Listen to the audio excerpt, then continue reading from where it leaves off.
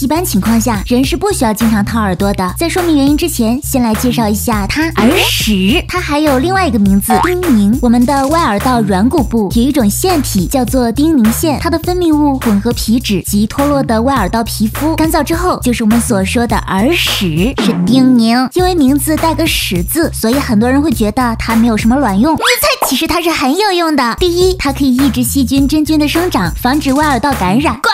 第二，它能粘附一些灰尘和皮屑，同时还能防止一些小虫子进入耳道深处。